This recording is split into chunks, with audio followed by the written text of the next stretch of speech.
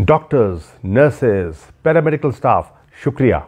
आपके बगैर हम ये लड़ाई जीत ही नहीं सकते।